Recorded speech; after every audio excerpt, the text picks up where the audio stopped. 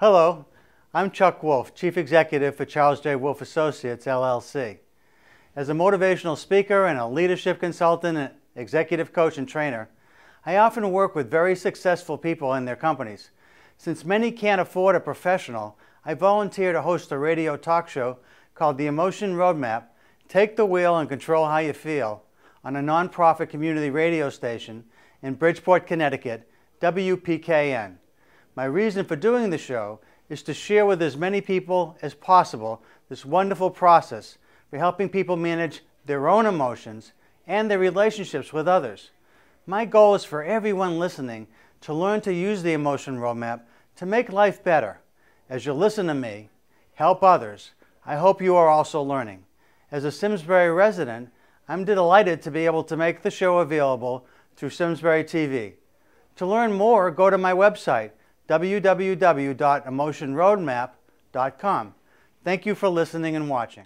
Hi, this is Chuck Wolfe. You're listening to the Emotion Roadmap. Take the wheel and control how you feel. And this is from WPKN 89.5 FM in Bridgeport, Connecticut, community radio. Thank you all for listening. Thank you all for your support. And in today's show, I'm very pleased to have uh, two guest speakers, Cary Cherniss and Cornelia Roche, who have written a new book called Leading with Feeling. And I've just finished reading it. I think there's a ton of information that will be very helpful to anyone who is in a position to influence others, to lead others at every level. And I think you'll find that the actual content will be very practical, a very easy guide to help you to understand how there are ways that you can be leading with feeling, leading in a more emotionally intelligent way. And uh, I'm going to introduce the two authors. Uh, Cary uh, has received his PhD in psychology from Yale University. He taught at the University of Michigan in Ann Arbor, the University of Illinois in Chicago, the Chicago Medical School, and the Illinois Institute of Technology. In 1983, he came to Rutgers, where he helped create the doctoral program in organizational psychology at the Graduate School of Applied and Professional Psychology. He, is, he currently is professor of applied psychology emeritus at Rutgers. He specializes in emotional intelligence, leadership development, and planned organizational change. He's published over 60 scholarly articles and book chapters on these topics, as well as eight books. His most recent one, and the one we'll be talking about, is Leading with, with Feeling Nine Strategies of Emotionally Intelligent Leadership. Dr. Cherniss has consulted with many organizations in both the public and private sectors, including American Express, Johnson & Johnson, the U.S. Coast Guard, AT&T, and PSEG Power. He currently is director and co-chair of the Consortium for Research on Emotional Intelligence in Organizations. He is a member of both the Academy of Management and the Society for Industrial and Organizational Psychology. And uh, Cornelia, Cornelia Roche has performed management coaching in a, uh, in a variety of corporate settings and has consulted to schools, nonprofit entities, and small business. Drawing upon research and her previous management experience in a Fortune 500 company, her work involves helping professionals better understand and navigate the individual and organizational forces that impact on their work. In addition to consulting, Cornelia has served as a staff member of the Wharton School's Executive Development Program and she's affiliated with the Emotional Intelligence Consortium since its inception. She has a doctorate from Rutgers University in organizational psychology. She currently resides in northern New Jersey with her husband and son. Okay. Also, I'd like to just say that um, I know Cary and I guess we've met once or twice, uh, from the consortium uh, myself, because I'm a member of that. And I've um, actually been really privileged to be a part of this uh, organization that Cary co founded with Dan Goleman many years ago. And it is the one of the most interesting places to spend time with other people who are leading thinkers in this field of emotional intelligence. And uh, one of the things that I've come to learn about you, Cary, is that you are someone that uh, has a way of bridging all the different models in the field in a very collaborative, nonpartisan way, if you will. Yeah, when I when I first entered the field, so over 20 some years ago, and began working with Peter Salovey, Jack Mayer, and David Caruso, I was struck by the different different uh, models and uh, really struggled with the idea of uh, when people talked about how emotional intelligence was having this amazing impact in the world. I often wondered, well, what emotional intelligence were they talking about? And you had such a nice way of bridging all of this and bringing people together. And the consortium really is a place where people come with a variety of ideas and models in their minds, and everybody is extremely respectful. The dialogue is wonderful and really exciting and inspiring and innovative. Lots of really useful ideas. And I think the, the book that you and Cornelia together have written is what does it really mean to lead with emotional intelligence? And how do you do it? I mean, how do you actually do it? And I think you've both captured some wonderful strategies that are going to be really useful to everybody. So, uh, Cary, one of the things I thought I'd start with is just asking, how did you come to write this book? But why now and why this kind of book about strategies? And how did you and Cornelia partner up to write it? Well, thank you very much for all those kind words. I really appreciate it. Um, in, in, part because that's exactly what we've tried to do with the consortium. Uh, and I might add uh, for your listeners that uh, Chuck has really played an instrumental role in doing that. He, he comes to the meetings regularly and really helps to represent models and, and ways of viewing things that other people um, aren't familiar with. So thanks for that, Chuck. Thanks, Karen. The, the way in which the book came about is that, as you know, and as some of your listeners undoubtedly know, uh, the concept of emotional intelligence has been around for a while now. Uh, Dan Goleman wrote his best selling book on it back in 1995. So we're now talking about uh, 25 years of uh, discussion and theorizing and research and, and the like, and, and practice, a lot of practice as well. And I realized a few years ago that there now is a lot of research on what emotional intelligence is, how to measure emotional intelligence, and perhaps most important, uh, the very strong link between emotional intelligence and important outcomes uh, well being, motivation, job satisfaction, engagement, um, performance as well. So we now have a lot of literature showing that there is a, a strong relationship. What we don't have much research on is how do leaders actually use their emotional intelligence to deal with critical challenges and opportunities. And that, that uh, lack has actually been noted by some of the leading thinkers in the field. Peter Salovey, uh, several years ago mentioned that that, that was a, an area of research that people should start looking at next. How, how do, do, people, all kinds of people, use emotional intelligence? Uh, Stefan Cote, another very prominent researcher, said the same thing. So I, I thought that it would really be interesting to try to study that. And so that was basically the question that we started with. How do leaders, and particularly outstanding leaders, use their emotional intelligence.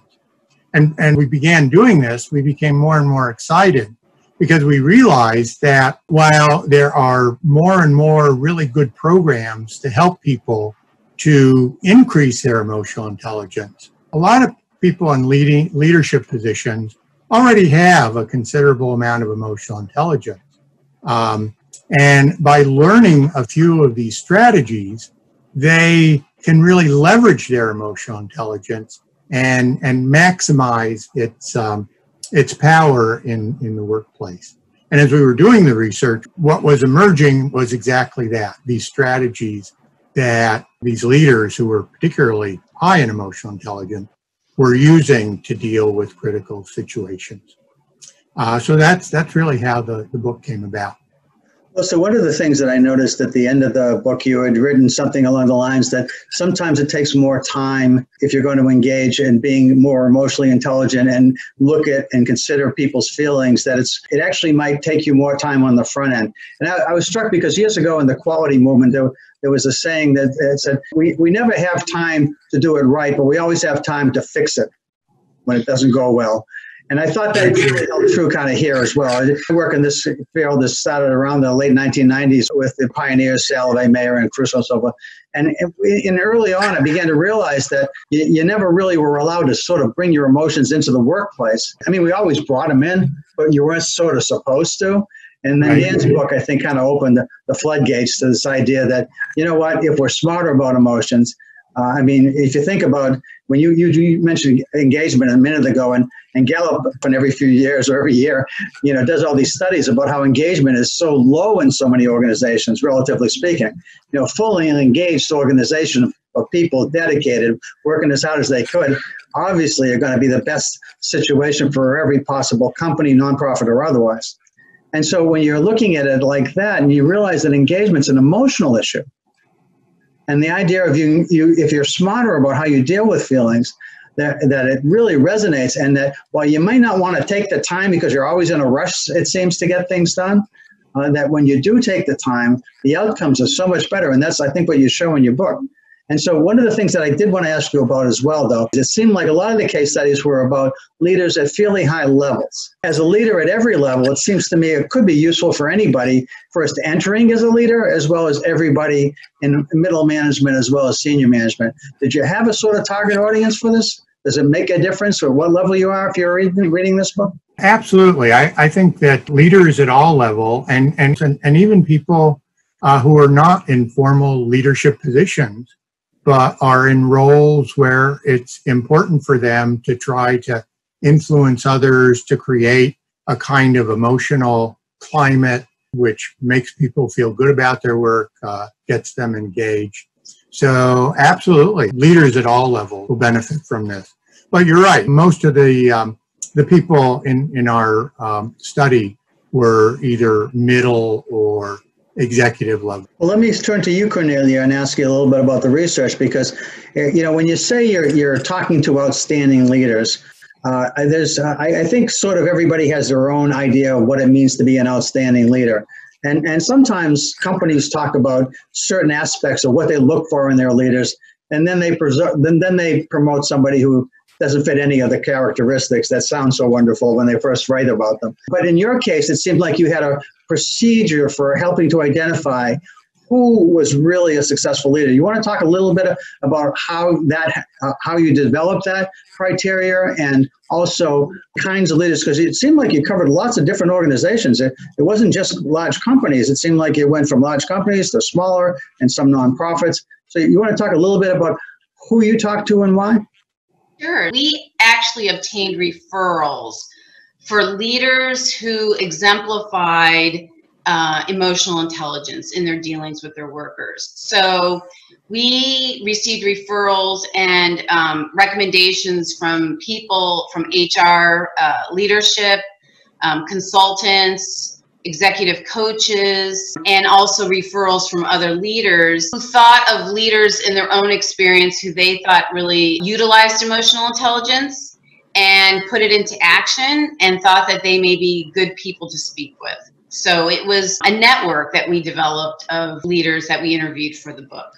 So sometimes when I've done workshops, uh, one of the fun exercises and, and one of the ways of capturing what it means to be emotionally intelligent as a leader is to ask people who, in your experience, are people that you can think about that were emotionally intelligent leaders. And I don't need their names as much as what were their characteristics? What can they tell me about them? So, what can you sort of tell me about the people and the characteristics that you found in your group when you decided who you were going to talk to. What showed up in those recommendations? What were some of the criteria that, that you found that was important for people that were considered by all these different groups to be emotionally intelligent? Well, not everybody is familiar with the concept of emotional intelligence.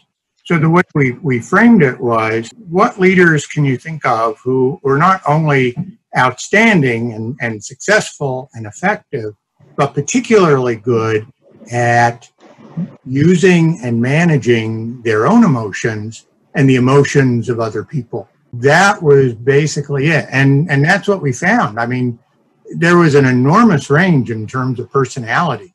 You know, there are a lot of theories of leadership that, that are really based on personality characteristics. For instance, for years, people thought that um, it, you had to be extroverted to be an, an effective leader. And it sort of makes some sense. Turns out not to be true. There's almost no difference between extroversion and introversion in terms of effective leaders. And, and that applies to almost any kind of personality characteristic. If for a while, I mean, this goes way back, but there was a theory back in the, I don't know, 20s, 30s, that um, a person's height was predictive of how effective they would be as a leader. I think that still works in terms of promotions, but yeah, that's true. one, one of the things that we learned early on from Richard Boyatzis, one of our colleagues in the consortium, was there's a big difference between success and effectiveness. So, yeah, if you're just looking at success in terms of promotion, maybe you know height or extroversion do um, have an effect. But of course, in, in the business world, nonprofits, education, what we're really interested in is effectiveness. And the leaders who are effective and also manage themselves and other people really well are the, the kinds of leaders that uh, we were looking for. And so there were introverts, there were extroverts, um, just just all kinds of short people, tall people, uh, all, all kinds female, male, and as you said earlier, Chuck, we had a lot of different um, representation from different industries. So everywhere from schools, nonprofits, family business, uh, corpor corporations, social service agencies. So it really ran the gamut, which is really unusual in books that I read. I love that about the research was that it really touched a lot of different areas of work. How did you decide, Cornelia, on what what kinds of companies or groups of or types of people or organizations you were going to visit with? We were open to all the different industries because the study was really on leadership and we really and, and emotional intelligence. So we really wanted that being the focus rather than the particular industry. So for us, we had a wide net in terms of where to where to look. And the kinds of questions uh, that you were asking people that uh, ended up being the data that you collected. Uh, what kinds of questions were you asking that ended up in these strategies? Did you know the strategies going in, or is that something that emerged from the data? No, that emerged. That was that was the that's the interesting part is how it you know it emerged. We conducted interviews with each of these 25 leaders, and it lasted between an hour to 90 minutes. It was based on um, what's called the behavioral event interview. And um, so it's really about somebody speaking about a particular event that happened to them. And as a researcher, our, our role is to probe and to get more details and information and sort of paint the picture uh, of what that event actually looked and felt like. So um, I would basically start off the interview with a question, you know, tell me uh, in tell me about two incidents that you can that happened to you recently where you um, had to either manage your emotions or that you had to deal with your emotions on some level. And so that would start off the conversation after sort of getting, you know, we'd have the introductory sort of thing that would happen with, you know, what's your role in the company. So I could have a little bit of a background um, uh, in terms of where they worked. But that initial question would then start a conversation. And from that conversation, I would ask some probing questions and, and also some open ended questions to get people to really fill out the details of uh, what exactly happened. So that was pretty much the premise of the interview. Then you went through the data, and these emerged. These emerged uh, as strategies. These, these, these different these nine different strategies. Uh, you know, it's interesting. I was looking. I, I made a list of the strategies. You know, at least. Uh, so I, you know, one was uh, I guess climate was one. either you're measuring the emotional climate and then express feelings to motivate others and consider your behavioral impact on others and uh, step in others' shoes, the, the empathic part, the emotional dynamics, reframe how you think, uh, create optimal interpersonal boundaries. Th- those last two, I think, uh, were particularly interesting to me because, Cary, you know, I do this emotion roadmap as a technology and or as a template, and I could see in almost in every case study because if I frame things that way that it's really asking if people aren't feeling the way you want them to feel, how do you want them to feel? And how do you get there? And, and I could almost make the case that on every strategy you were doing that. But these last two are things that I hadn't really thought about very much in terms of the reframing and the boundary question. And then seek help from others and then help others develop their, um, their emotional intelligence skills. And I was, I was thinking about this. What went through my mind, Cary, is that you do this as the director of the emotional consortium. I, I really do. I mean, I thought you weren't the case study, but as I know you, you are the case study, or you do almost all of these things, as far as I can tell. um, so anyway, I would. Chuck, Chuck all, all I can say to that is, I'm going to be sure that my wife sees this. well, there's a, there's a fan for you. Okay. Um, uh-huh. Now, I want to make sure we get to the content, which is the part where we actually talking about how do people do some of these things. So I want to jump to the chapters, and and ahead of time, I I talked with the two of you about you know dividing the chapters up so that uh, we'd be talking uh, first with Cornelia about chapter three, and then ask you to spend a little bit of time just talking a little bit about so people have a sort of a, at least something they can take away that isn't just about how the study got done, but what did the study teach us? And because I really try really hard on this show, the show's the taglines take the wheel and control how you feel. But isn't just how you feel, how others feel too. And and I think your strategies really help to do that. So Cornelia, would you mind just jumping into chapter three, talking about what that chapter's about and what some of the learnings and lessons and the cases were from there? Sure. So chapter three, what this it's called what is your impact on others? And while it may seem obvious, like who would think that a leader wouldn't know their impact on others? And I think there are some leaders who are very much aware of their impact on others, but maybe not to the extent that they, you know, their effectiveness. But they have a great influence on the emotional tone that a group takes. For instance, in the book, there was a particular case where his, um, James, who was a senior VP of a very large consulting uh, agency, had under one of the episodes that he discussed was he had undergone um, a very stressful time. One of his senior uh, VPs or directors had left very quickly um, due to illness and almost disappeared. Could not find him, and the agency was going through a regulatory issues. So they were kind of in the midst of a lawsuit, and he knew how panicked this particular division was in the organization. So he decided, rather than panic himself, even though he was very stressed and worried, um, he situated himself there at the office and took on a calming influence on the group, right? So he decided he was going to be a part and get, you know, and get his hands dirty and get through this. So he communicated to his group just by his presence and the way that he expressed himself that he was going to influence them in a way that would help them adapt and sort of cope with the stressful circumstances brought about by this um, by these issues. There's lots of different ways that leaders can influence the group but that was just one of the one of the stories that we talk about which is how did how did james do that under such dire circumstances? His key role in that was showing up and his showing up gave the confidence to the team that they were going to be okay somehow. And I think somehow you got to manage your your own emotions a lot then, right? This was not just managing theirs as much as it was it started with.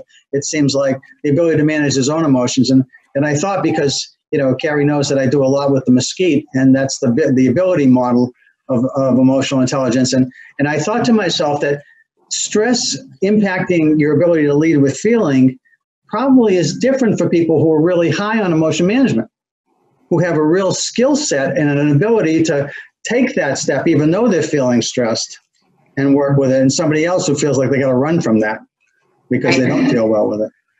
Right. It's definitely a theme where, uh, you know, even though they might want to break down or they're feeling so stressed they feel like walking out, it was a sense that though they would get through it and um, that they could they they could not um, they were in it together but they didn't want to seem that they were so stressed out or panicked that would make other people sort of follow suit. So they understood the emotional tone of their leadership at the time so this is really somebody very aware of the impact of his behavior on this group, and, that, and that's sort of what this chapter is about, and that's a case that represents that. I did want to mention to you one time I on this show um, on my radio show I had Linda Hill. Uh, do you know Linda Hill from Harvard? She's a professor at Harvard University. Yeah. Uh, Harvard, you, t- you tend to think of Harvard professors in the business school focusing on very senior people, but Linda spent a lot of time on that first level of management you know how it feels when you first become boss. But one of the things she she commented on my radio show is about your impact uh, on others. And she said there's two questions she asked people. I thought they were brilliant. One was how does how do people feel in your presence? Ask somebody that you trust to tell you how people feel in their presence. And then a second question, even more interesting, is how do they feel about themselves in your presence? I know it was a great question. I thought actually she'd be someone if we ever think about it, you know, we got room for a speaker, and we ever meet again, we get out of this virtual world, um, she'd be a great person to have on. Uh, she's really brilliant and, and fun to and fun to listen to and talk with. But those were two questions I thought related to that chapter when I read when I read about this. Any other thoughts about that chapter that you'd like to share, Cornelia? There was another example, which was um, one of the leaders had been monitoring a meeting um, her name was Cynthia, and she noticed that a lot of her um, management staff looked very glum, very glum, and she was thinking to herself, "Why do they feel so glum? I just gave some good financial results." So she actually did an intervention to help the senior management sort of um, reflect on um, what she had just reported and to start and to ask them, you know, how did you do it? And after having done that, um, the senior management like then sort of you know perked up, um, became much more alive, I guess, engaged in a way that she hadn't seen at the beginning of the meeting. And I always thought, you know, that's a really interesting thing when you're monitoring the emotional climate of a group you know, you actually can do things uh, right there on the spot that might get the tone of the group, the emotion of the group to change. So I, I always thought that was an interesting example. Um, and it wasn't a big, you know, it wasn't a big, wasn't a really big thing. It was just a, asking a question or having having the senior management reflect on it that got them to to to hit another tone. When I read that case, I was struck by the fact that I, I guess there'd been some depressing things happening in the past, and that this was something where they achieved a milestone, and but nobody was really celebrating the milestone. And when they and when you wrote about it, and it, they, she decided to ask them to step back and reflect on how they hit that milestone, all of a sudden everything changed and and so that's a great example i think of, of helping to manage you know influence somebody else's emotions. In a very positive way. Once you, and, and you have to know what what uh, you, you have to realize that the impact you wanted when you were sharing the good news wasn't the impact you were having. And so she then created a new strategy to to try to create the impact she wanted to see. And it seemed like it turned things around. That, that was a really neat example i thought. Thank you. Let's move on to chapter six with Cary. And Cary, you want to talk about that chapter and some of the cases and some of the examples and why and, and what it is that people might take away from that? I'd be delighted to. So another one of those strategies was um, to uh, reframe the way in which you think about a situation. That that was a strategy that, like some of the other strategies, um, is is really targeted to help leaders to manage their own emotions, particularly in very difficult situations uh, when they're you know feeling really stressed out, when they're feeling anxious, worried, um, when they're really annoyed, angry, uh, feeling desperate, hopeless. These are negative emotions that are really painful for the people experiencing them, of course. But when a leader begins to feel this way, it can really have a devastating impact on the group and the organization. So it's very important that they uh, use their emotional intelligence to manage these emotions when they experience them. And what we found when we looked at all of these incidents was that a lot of these leaders were using this strategy of, of uh, reframing the way they look at a situation. And one of our favorite examples came from a guy uh, who was an engineer by training and went to work right after school, I think, with one of the largest steel companies in the country. Uh, and after a short period of time, probably in part because of his emotional intelligence. He moved into management and he described a situation uh, which occurred just after he had be, been promoted to his first job as a plant manager. And that's really a very important and, and uh, uh, a very difficult job where, where you're in charge of an entire plant producing uh, product. In this particular case, it was a very important plant because this was a plant that produced steel for one of the largest automobile companies in the country. So he had been in the job for only about a week or so and um, went to a meeting with his management team uh, to uh, a meeting with about 20 engineers from their primary customer, the auto company. So he walked in, this meeting occurred once a year, and he expected that he would, you know, hear some good things, some bad things, and take it away and, and try to do better next year. Well, he walked in the room, and almost immediately, the engineers tore into him and the company. They presented a very long litany of complaints.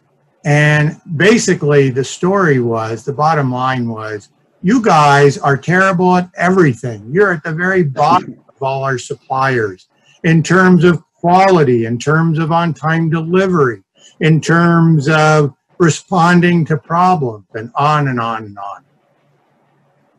Um, but he managed to pull himself together. And at the end of this you know, presentation by the engineers, he calmly stood up and he said something really disarming. He said, You know, if I were you, I would fire us. But if you give us the opportunity to fix these problems, I promise you, next year when we have this meeting, we're going to move from the bottom to one of the top suppliers. So I think that really convinced them to give him and his um, his team uh, another opportunity. He went on, by the way, to become the COO of the company, the second highest executive in the whole company. Anyway, after telling this, this story, we asked him, his name was Tom, that's the name that we gave him in the book. Tom, how, how did you feel when you were sitting there I mean, totally unexpected. You've been in the job for only a week. And he said, That's exactly right. I'm I'm in the job for less than a week, and you know, all hell breaks loose. What what is going on? And then I got really angry. I was looking at all my my managers around the table and I was thinking, where have you guys been? I mean, you're the ones who are to blame for all of this. And so we said, well, you know, how did you manage these emotions and pull it together to, to, to make it come out the way it did? And that was one of those gems that we got from, from the study at that point.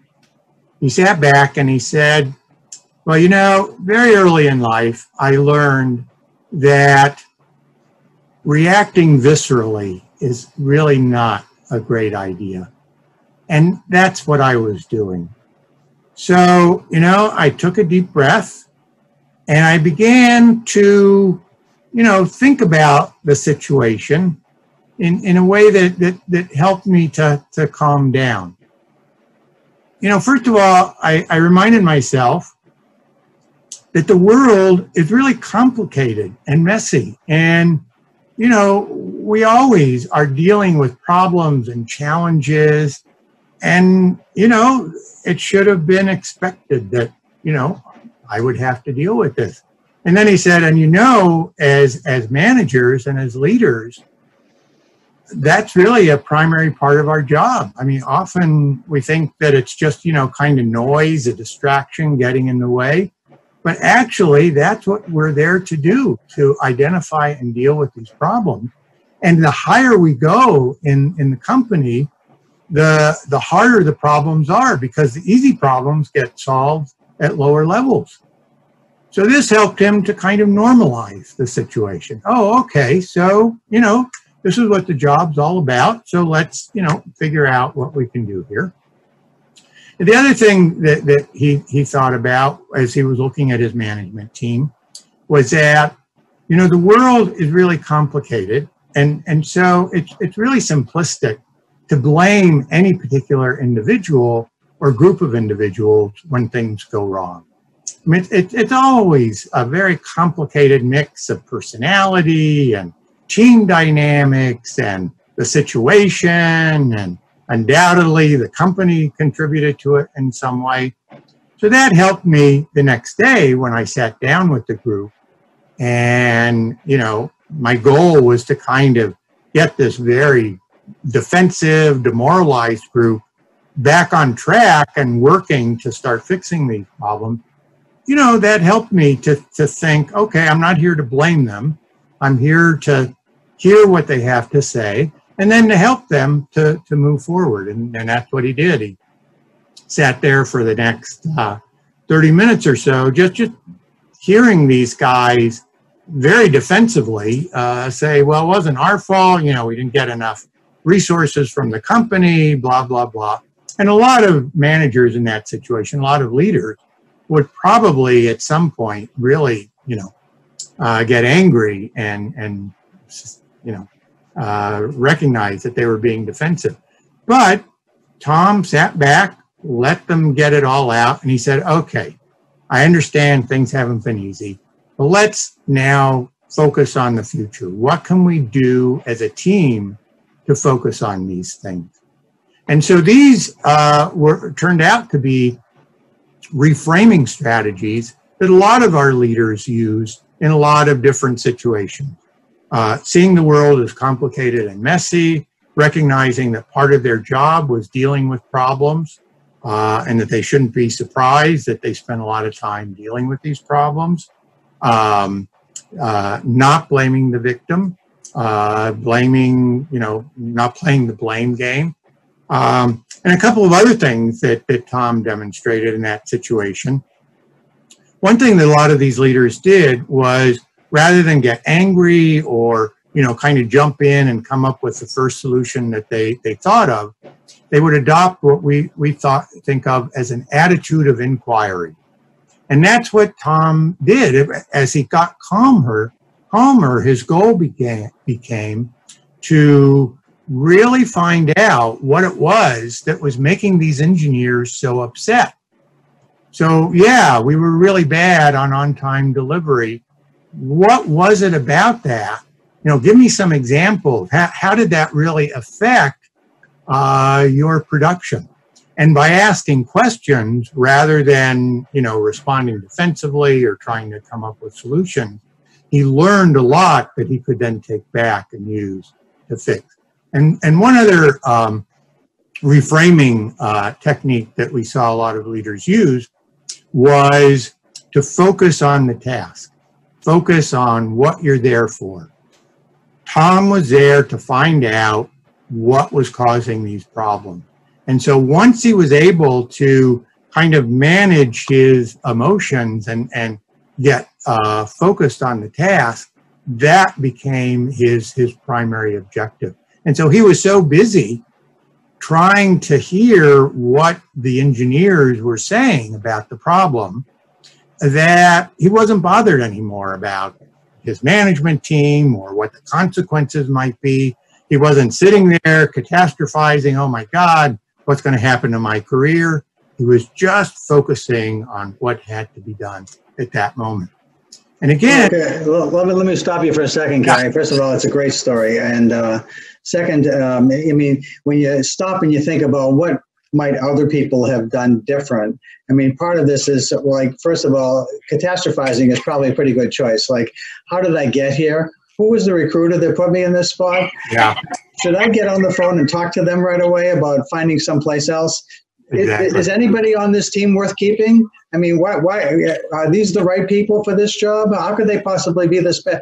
I mean, all those thoughts I think would be more typical for most people in a brand new situation, and that's the first thing they hear. So the, yeah. the Tom, whoever he was, was brilliant. At first, in his response to the customer. I mean, that in itself was amazing, right? To just to automatically stand up and say, "I can promise you in a year," because he's made, he's given his word, and he doesn't even know his team yet. And also his ability to be with his team and not be judgmental and not say, "Well, you people stop whining and let's start start talking about, you know, what it is." I'm not saying I'm blaming you, but I'm not I'm not letting you off the hook either. Uh-huh. You know, just took a very direct, different approach. And then if you don't like this approach, then you need to leave because I want people here who are going to turn this around. I mean, I've seen people who are turnaround managers come in with a very different attitude to a situation like this. And yet it's based on that story being successful. That's an amazing story, I think, about somebody who really embodies, if you will. And, and then and then you wonder, how did this person get to be like that? What what gives somebody the self confidence in a brand new meeting to stand up and say, "We're going to turn this around in a year," yeah. and then not be judgmental of the people that created this mess, and and all those things that you talked about. I think that's a great story. I, is there is there some way others can duplicate that? well, really, that that gets to to to uh, what I think is is the um, uh, the main takeaway of the book, and and that is that you you know Tom is probably what we might think of as an emotional genius. But in a lot of cases, you don't need to be an emotional genius. If you just have the strategies and you have them in front of you, I mean, anyone can just, you know, write them down, put them on a little card and always have them in front of them. Look at the, the read about the stories in the book and then just practice. Um, that I think is an important feature of the book. And that is the end of every chapter, there are activities that people can use to really start practicing and using these strategies. And maybe this is, is uh, expecting too much, but I think most leaders over time, as they use these strategies, can, you know, uh, have um, similarly positive outcomes in dealing with these sorts of situations. Well, I think the takeaway for anybody listening to this who's a leader is that at some point you may be faced with this. And you've just read or heard about a situation where you now have something that, if you remember it, is a plan for when you face a consequence that is really surprising and upsetting yeah. And yet, instead of just reacting, which is a you know it's the fear or flight syndrome in that case, right? You know, I'm going to run, I'm going to fight with this, and then instead just thinking about, hey, I'm an engineer. This is a problem. We got to figure out how to solve it. That's what we do. And and just having that kind of matter of not matter of fact, but just sort of a a, a way of thinking about things that it's going to be messy and this is messier than I thought maybe. But uh, so this is a real challenge to use all the skills that we're all bringing to the table, and so let's let's get to it. And, and, and just what a, what a difference that makes. And I and I think if I if you don't mind. Um, and part of the backstory also is that Tom did feel a lot of uh, he did feel some fight or flight. I mean, he he used some swear words when he was doing that interview, and um, uh, he really didn't know what the answer was. He and I think he was scared. Like, what did I just get myself into? Um, but he knew that he could not.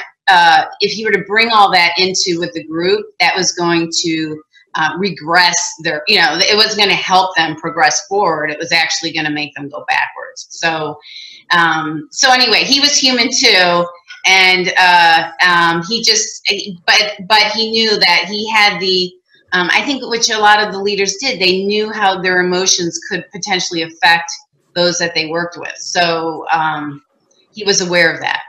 That's great. I think I'm gonna want to just move again. With the the times, yeah, time goes fast when you're having fun, and this is fun. So um, I want to make sure we get to the other chapters. We had two more we're going to talk about. So Cornelia, you want to talk about chapter four? And so um, chapter four, what what is is um, I think the what's it like for others? So putting yourself in others' shoes. I remember one um, director of a social service agency. Um, there was a very, very horrific case that happened and involved the um, death of a child. So she decided to go see why the caseworkers who had been assigned to this uh, like what was preventing them from seeing what was going on. So she actually went to the house um, where this happened and could then understand the way that the house was situated. There was a basement, but it was hidden in such a way that the caseworkers would not have seen this extra room where this child was.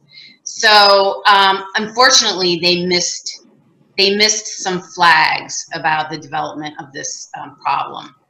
And but after she had been there, she was much um, uh, much more able to speak on the caseworker's behalf because she understood some of the things that got in the way of uh, successfully sort of um, you know, uh, being there for this particular uh, parent. Anyway, that was just one of several examples of the man, instead of blaming the employee, which often happens when something goes wrong, it's like, oh, what did you do? Um, she actually took some time and went to investigate what, what it was all about. And, and that happened again and with other with other leaders. And then you had other yeah, and then you had other leaders who, uh, in order to put themselves in other shoes, they did other things like um, they remembered their own experiences. Um, I'm thinking of uh, a principal of a school who remembered what it was like as a parent. So when she would go in for meetings, uh, you know, when there was an issue with a particular student, she knew, um, listen, you know, my guess is this parent these parents are going to be you know anxious and you know maybe a little defensive about their child having problems because she knew as a parent that that's probably how she would feel.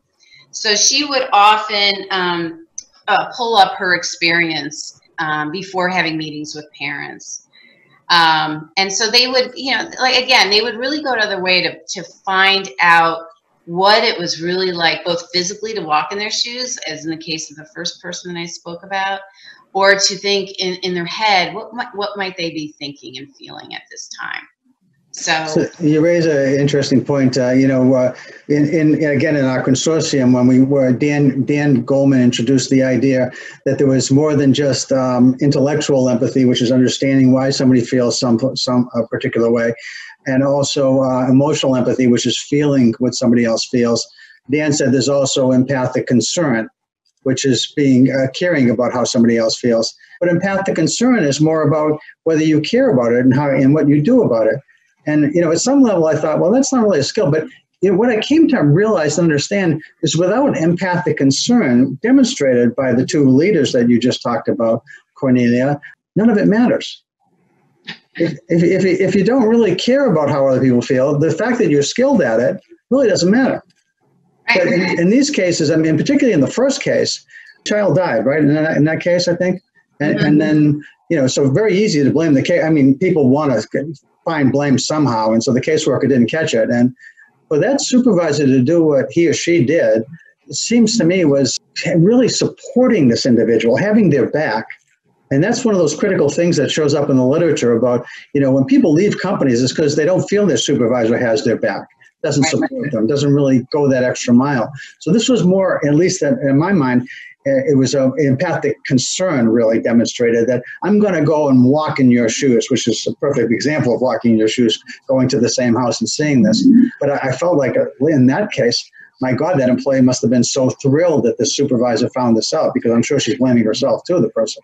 So this that, that was a great example of that I found. Not everybody sees things the way you see it.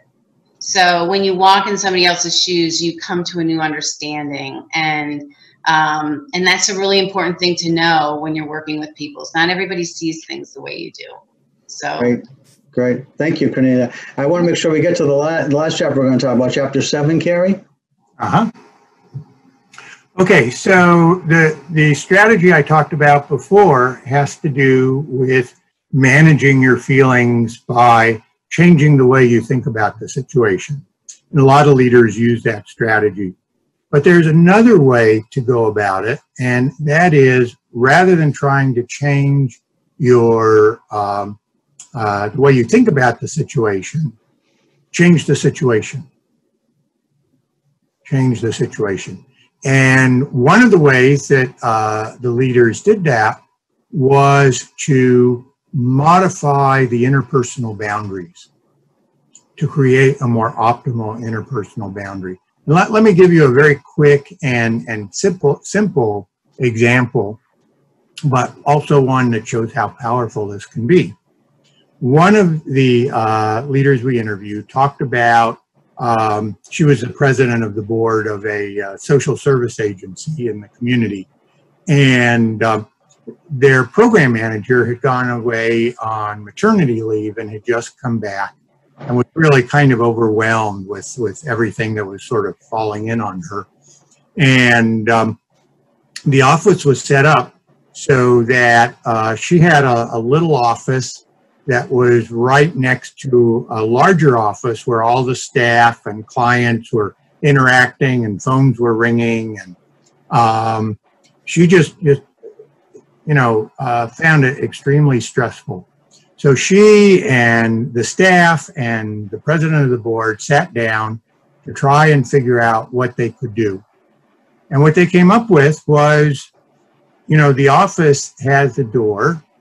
Why doesn't the program manager just keep the door closed? And if someone wants to talk to her rather than interrupting her, use their cell phone to send a text message. So it was like magic. Overnight, she had almost unlimited time to herself in this quiet, small office. Everybody else felt like she was, you know, just a few taps on their phone away if they needed her. Now, you know, someone could have worked with the supervisor, the program director, for a long time to help her change the way she, you know, dealt with that situation internally. Um, but it was so much easier and simpler to simply create a more rigid boundary between her and all the chaos that was going on in the office. So we, we have a lot of other examples like that in the book. But the basic idea is managing that boundary between you and other people in a way that um, really not only helps you to manage your emotions um, and to calm down when you're dealing with a difficult situation, but in many instances prevents uh, stress and, and anger and, and all of those negative emotions from occurring to begin with. This, by the way, is not a new lesson. It's something that most parents of a toddler learn very early on. You know, you can keep sitting there all day, you know, hopefully not yelling at the kid to stop, uh, you know, uh, don't get so close to, you know, grandma's uh, precious antique. Um, but sometimes you can just get up and move it out of the kid's reach and save everybody a lot of. Um, I was wondering if you were going to have the, the parent texting the toddler, and I, and I know you people are using this at a very young age, but yeah, so that's generational in some ways. But but what, and a really nice example of how you know instead of a long term drawn out, how are we going to fix this? it fixed it almost instantly. That's great. So, so, so, so, sort of a reframing of the situation, not just a reframing of how you think about something, right? That's great. I wish you had told us that before we wrote the book. we would have put it in there. I like, I like the the way you put it. Yeah, reframing the situation as opposed to reframing. I say as opposed, but actually, you know, many of the leaders use both strategies, sometimes in in the same situation. But you know, being the um, the outstanding leaders they were at managing emotion, they, they would use, you know, uh, one or the other depending upon the situation. Well, let me, um, well, first of all, thank you both very much because uh, we're basically reached the end here. What's the best way to order the book? And uh, is there a place you'd like to send people to, or how, how can they get a copy of it? Amazon, Barnes and Noble. You can also go directly to the publisher, uh, which is Oxford University Press uh, bookstores we can't go to anymore in many cases, but uh, when bookstores open up again, which hopefully will be sooner rather than later, uh, the book will probably be on display there as well. Great. Um, any last thoughts that either one? Well, let me start with you, Cary, and then ask Cornelia as well. Cary, any last thoughts that you'd like to share? Uh, well, I think for me, the you know the the bottom line is is as I said before, that the main takeaway is that, you know, if you want to improve your emotional intelligence, that's fine. There are some really great programs out there. There are terrific coaches like Chuck who can help you to be more emotionally intelligent. But you probably already have a lot of emotional intelligence. And by using these strategies, you can really, and you can learn these strategies very quickly. You can begin to really leverage that emotional intelligence, and, and that's uh, what we hoped for when we wrote the book. Thanks, Cary. And, and Cornelia? But this is actually the time when I think um, you can get the most practice out of them. So um, I actually think this is a great time to open up the book and try something because um, uh, it just will help. It won't. It won't hurt. Thank you. You know, one of the things I read at the very end of the book, you, you wrote you wrote something along the lines that um, you know it's it's great to have these abilities, but it really all comes down to how you use these abilities right? These actual practices by real leaders who are successful and effective leaders, I think was uh, something that everybody at every level uh, that's interested in leading in whatever domain, in whatever way, informal or otherwise, I think will benefit from. So thank you both for being on the program. Much appreciated and much success with the book. Thank you.